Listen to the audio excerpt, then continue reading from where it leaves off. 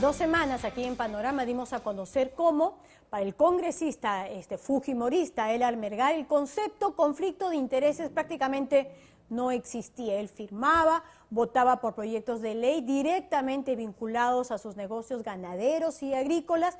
Se sabe también que Melgar pues ha sido acusado de aguas para sus tierras, de plagio de sus tesis, entre otras tantas denuncias. Hoy se suma una nueva la apropiación de 500 hectáreas de terreno en Huacho. 500 hectáreas. Estamos hablando de un área más grande que todo el distrito del INSE, más grande que el de Jesús María. Y todo a partir de dos sentencias judiciales sumamente cuestionables.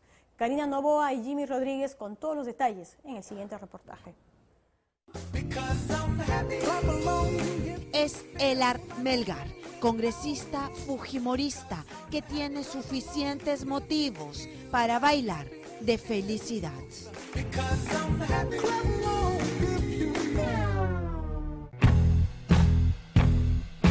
Es tan suertudo que terminó siendo dueño de 500 hectáreas de tierra sin pagar un real. Soy el congresista Elar Melgar Valdés, elegido por la región Lima Provincia. Los terrenos eran del Estado, del Ministerio de Agricultura, y mediante dos sospechosas sentencias judiciales pasaron a engrosar su abultado patrimonio.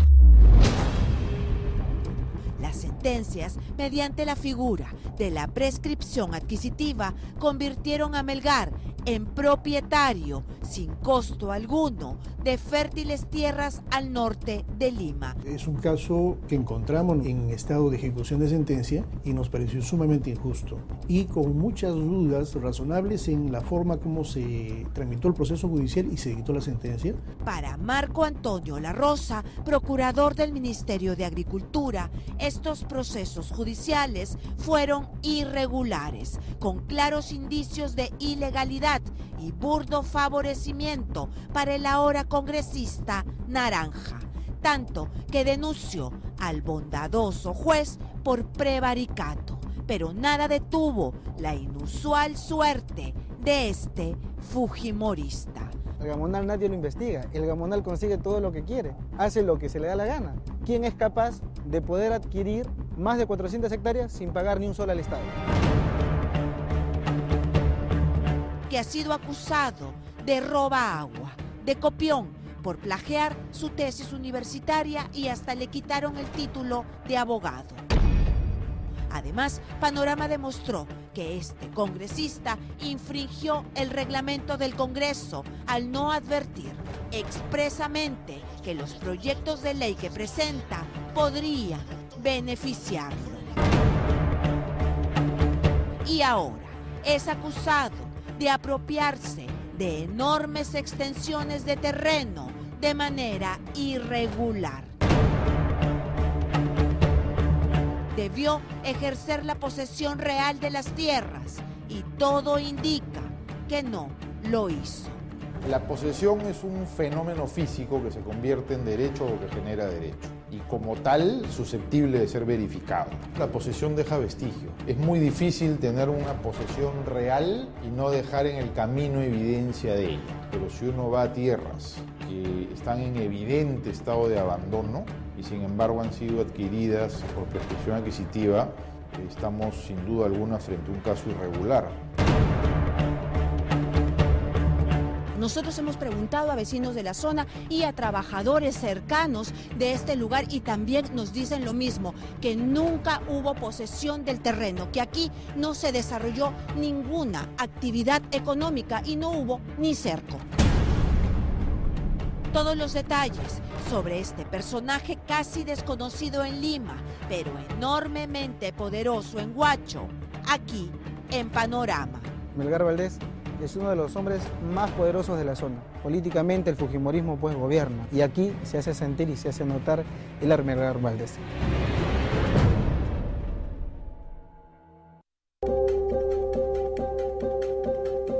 Este es el juez que otorgó 500 hectáreas de terreno a Elar Melgar, un poco más de toda la extensión del distrito de Jesús María. Estas productivas tierras entregadas completamente gratis para un adinerado empresario mediante un juicio por prescripción adquisitiva, mecanismo legal que tiene requisitos clarísimos que cumplir. Si no se cumplen, se trata de fraude. Existe de hecho el delito de fraude procesal, que es cuando uno a través de mentiras o documentos no necesariamente ciertos, induce a las autoridades a emitir pronunciamientos en apariencia legal, pero que se sustentan sobre una base fáctica eh, falsa, que es lo que pudiera haber ocurrido en este caso, de confirmarse, como todo indicaría, que no ha habido una posesión real en este caso. Se tiene que haber comprobado irrefutablemente la posesión real del predio. El elemento fundamental para poder adquirir por prescripción adquisitiva es la posesión, pero no cualquier posesión, tiene que ser una posesión pacífica, pública, me debo comportar como propietario además, y el plazo que se exige son 10 años ininterrumpidos. Era sumamente complicado probar que una persona y tal vez cuatro o cinco trabajadores pudieran estar en posesión efectiva de 415 hectáreas. Lo que más llamó nuestra atención es que no solamente fue ese caso, sino otro expediente adicional por otro terreno que se denominaba Las Malvinas de 56 hectáreas. Y encontramos que dos expedientes judiciales promovidas por esta misma empresa aparecen sentenciándose el mismo día por el mismo juez y prácticamente con los mismos fundamentos. Es casi un calco de una sentencia a otra. Entonces, aquí empezaron las justificadas sospechas. Elar Melgar es el dueño del Fundo San Ramón, una próspera empresa agropecuaria y ganadera, mediante la cual Melgar interpuso una demanda de prescripción adquisitiva contra el dueño del terreno, el Ministerio de Agricultura. Según la sentencia del juez Juan Carlos Paredes, se había acreditado absolutamente la existencia de una empresa en los predios en controversia. Él dice que había una empresa instalada, que había una granja de cerdos, que habían cultivos de sembríos con riego tecnificado. Esto se contradice absolutamente con la realidad estamos aquí en un terreno ariazo, acá no hay ninguna, ningún cultivo, no hay ninguna mejora, no hay cerco. Es decir, ese terreno es el que el congresista Melgar dice que es, de él y que él ha sido posesionario. ¿Usted cuántos años tiene? Yo tengo 62 años. ¿Toda su vida ha vivido en esta parte de Huacho? Así es. ¿En algún momento usted ha visto esta tierra cultivada con ganado o con cercos para eh, determinar que sí ha habido la posesión de cualquier persona? No, señorita. Ve usted que esta tierra, por ejemplo, es pura arena, no se observa ninguna plantación ni mejoras, que no ha habido nada. Está abandonado porque este es un terreno del Estado. No existen rastros de la existencia antigua o actual de un posesionario real. Solo subsisten plantas características del desierto y lo que serían quizás las huellas de pequeños zorros.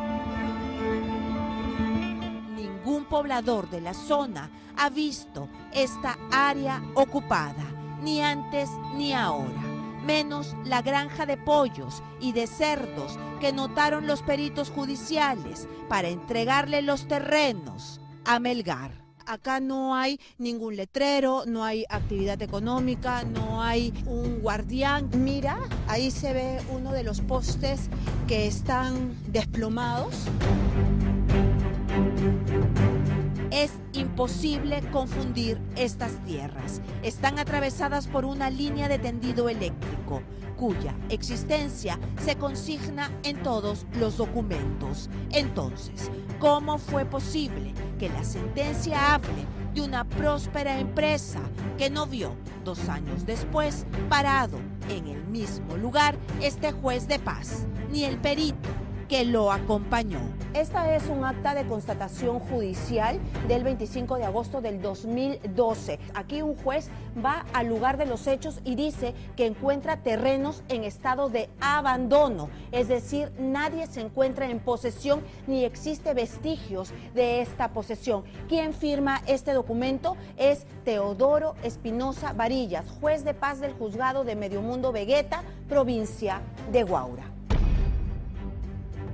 Hasta este lugar llegó el juez de paz letrado para inspeccionar una línea de tendido eléctrico. El 2012 se dio con la sorpresa que aquí no había nada. no había cultivos, la parte que hasta hoy se mantiene, ¿no? ¿Estaba en posesión de alguien ese terreno? No está en, en posesión de nadie, no hay cultivo, no hay nada de esa parte. Se mantiene el día de hoy, igual. Eso no es todo.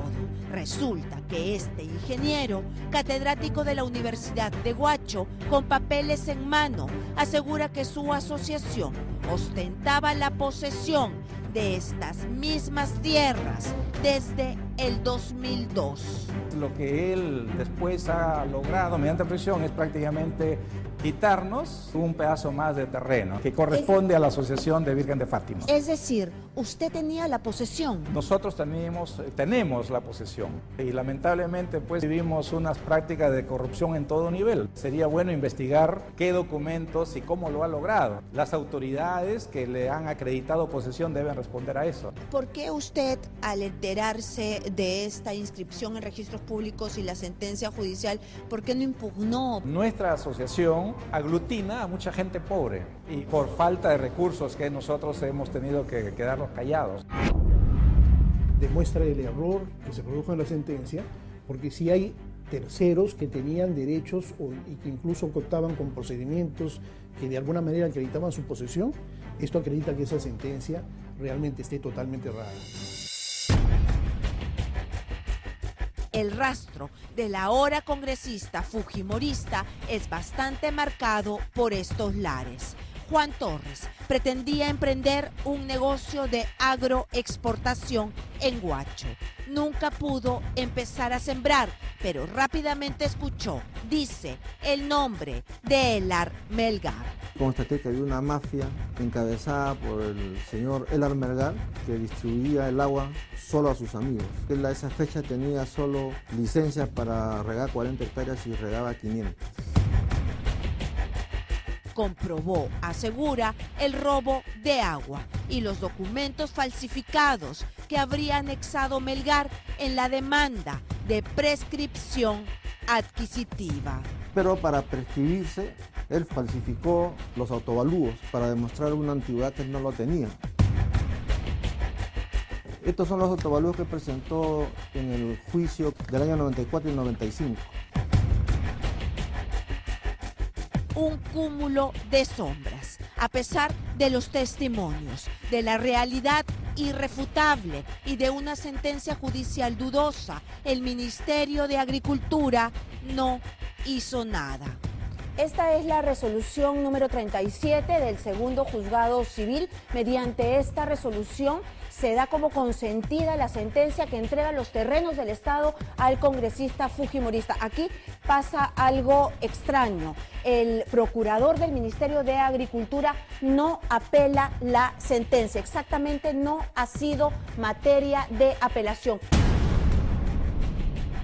El procurador es el defensor de los intereses del Estado. Como tal, está obligado por la ley de la materia a agotar todos los recursos eh, de impugnación que la ley le permite. Tuvo que haber cambio de procurador para que se intentara frenar la entrega de todas estas tierras a Elar Melgar. La Rosa no pudo evitar que el Estado perdiera estas cotizadas tierras. Perseguir enormes cantidades de terreno, evidentemente ya el- la, la buena fe se empieza a diluir. Claro, porque lo que se busca es el lucro, lo que se busca es engordar los bolsillos. Efectivamente, en este caso nos llamó la atención que esta empresa logra estas dos sentencias de prescripción que luego aparecen en la declaración jurada de esta persona como parte de su patrimonio, significando unas sumas enormes. El congresista Melgar fue invitado a participar en este reportaje, pero no quiso. Ah, ¿con quién tengo gusto? Congresista, soy Karina Novoa, reportera de Panorama. Sí, sí, sí. ¿Qué tal? Sí lo escucho, sí lo escucho. Estoy en Arequipa, recién estoy el lunes. Hágame un espacio por teléfono y hablamos. Me cortó. Se negó a explicar, o por lo menos a compartir por teléfono, cuál es su secreto. El suertudo parlamentario que además de todo, miente con inquietante tranquilidad. No me voy a dejar intimidar por un reportaje. Hace dos domingos presentamos este reportaje. Y ahora es acusado de usar el poder de su curul para beneficiar a su empresa. Entonces, este congresista de Fuerza Popular optó por la mentira. Eh, bueno, bueno. El vivazo de Guacho solo intentó confundir. Lo único que tenía que hacer era explicarle al país por qué no respeta el reglamento del Congreso. Tan simple como eso, pero no lo hizo. Parece que sigue subestimando a sus votantes. Desgraciadamente, pues en todo lugar hay gente mediocre, mediocre. En nuestro guacho hay gente mediocre. A ver, ¿qué dice la poderosa mayoría en el Congreso, con la historia nada clara de este parlamentario? La gente ya está cansada de que haya sido engañada durante todo este tiempo. Parece que más temprano que tarde, la verdad se impondrá. Hasta la fecha yo sigo insistiendo y sigo pensando, esa fue una sentencia injusta y si en adelante se produce algún hecho o se emite alguna disposición que tenga que ver con periodos del Estado, que nos dé una luz en este caso, vamos a tener que hacer algo. Es un asunto que no lo hemos cerrado definitivamente. Y vamos a, a dar pues hasta llegar a la verdad. ¿Quién realmente es Elar Melgar? ¿De dónde hizo tanta fortuna el señor Melgar? ¿De dónde sacó tanto dinero?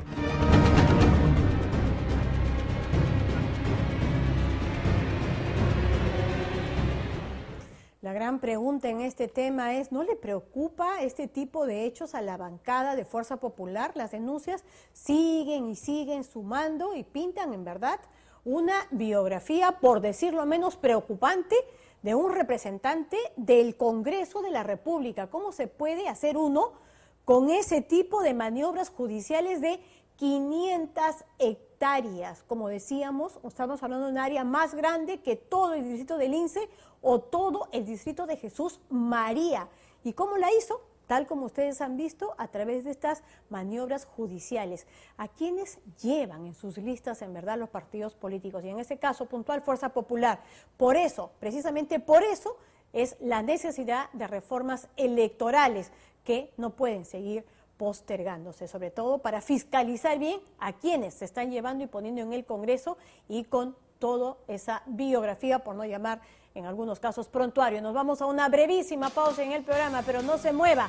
Más adelante, Kenji Fujimori le abren proceso disciplinario, le hacen la ley del hielo en el encuentro, pero él sigue disparando. Ya volvemos con eso y más. Yo les recomiendo que se suban a una mototaxi y que vayan a ver a mi padre. Los resultados no superaron las expectativas. El cónclave de Fuerza Popular no habría servido de mucho para lograr la tan ansiada integración y fraternidad en tiempos de marcadas distancias y procesos disciplinarios. Y si de recomendaciones se trata, le recomiendo que tome su mototaxi y venga más seguido al Congreso. Soy inocente.